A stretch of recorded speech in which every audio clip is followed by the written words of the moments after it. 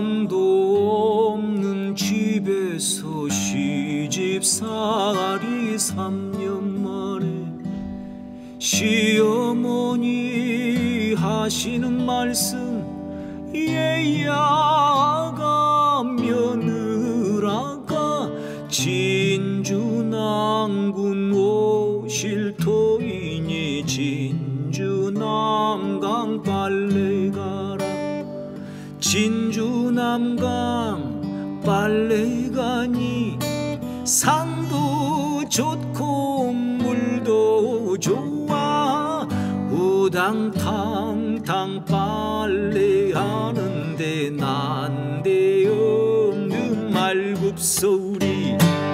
옆눈으로 힐끗 보니 하늘 같은 가슴을 쓰고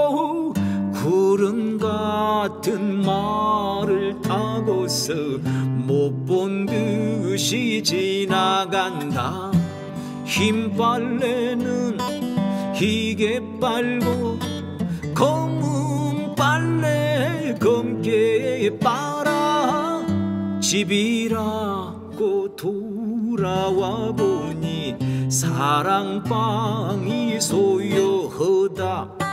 시어머니 하시는 말씀. 얘야 아가 며느라가 진주남군 옷이었으니 사랑방에 나가봐라. 그러니까 시어머니는 자기 아들이 진주남군 아니에요. 근데 이제 어떻게든 며느리 좀 같이 좀 이제 자기 아들놈 아들놈을 혼내야지 어머니. 참. 어, 혼내질 않고 이제 그 아들이 있는 사랑방에 이제 며느라 얘 얼른 들어가 봐라. 아이 진짜 화가 나네. 사랑방에 나가 보니 온갖 가지 안주에다 기생첩을 옆에 끼고서 권주가를 부르더라 이것을 본 며느라가 아랫방에 물러나와 아홉 가지 약을 먹고서 목매달아 죽었단다.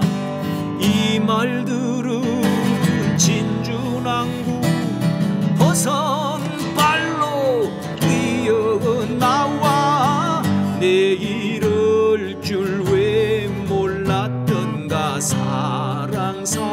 사랑 내 사랑아 화류정은 삼년이요.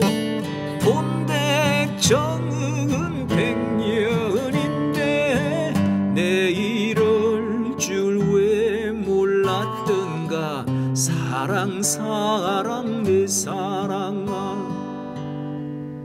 어와 둥둥 내 사랑아